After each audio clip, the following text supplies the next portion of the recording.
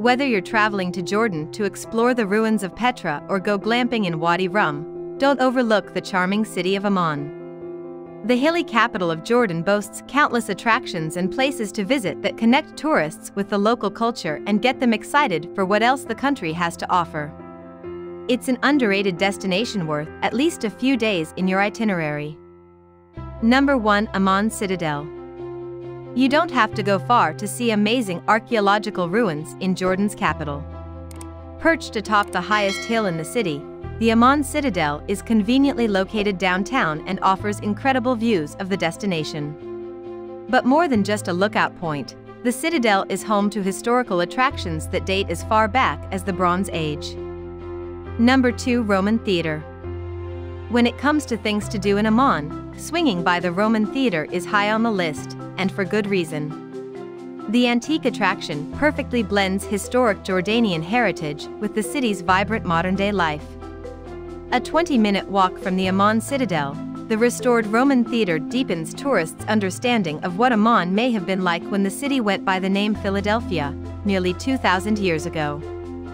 Number 3 Rainbow Street Rainbow Street is the place to see and be seen in Amman. The famous road, which can be found in the historic district of Jabal Amman, offers a relaxing space for pedestrians to escape Amman's chaotic traffic and explore a part of the capital by foot. Number 4 Royal Automobile Museum Whether you're a die-hard car enthusiast or you have a passion for road trips, you'll find it easy to enjoy the Royal Automobile Museum in the northern suburbs of Amman. Established in 2003, the relatively young museum showcases former King of Jordan Hussein bin Talal's rare cavalcade of cars and other vehicles from around the world. Number 5 Jordan Museum No trip to Amman is complete without a thorough look at the Jordan Museum's illuminating exhibitions. The collection at this world-class institution, located in a modern building next to City Hall, brings Jordanian culture and history to life, starting with the country's earliest known inhabitants. Number 6 Amman's Best Falafel Where to find the best falafel in Amman is a hotly contested debate. There are tons of local restaurants that churn out piles of the famous chickpea fritters, and you can easily eat your way through the city trying to find your favorite falafel joint. Number 7 Amman's Spas While the Dead Sea is the preeminent region for relaxing in Jordan, Amman holds its own on the wellness travel scene with a number of excellent spas.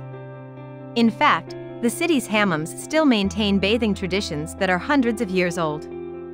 Many of the facilities feature Middle Eastern-style saunas, steam rooms, communal baths, and private treatment rooms, along with pleasant spaces to wind down.